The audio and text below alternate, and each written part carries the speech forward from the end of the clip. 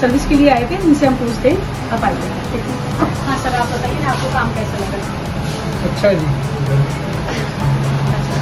Sir बोल रहे हैं कि हमारा काम बहुत अच्छा लगा है।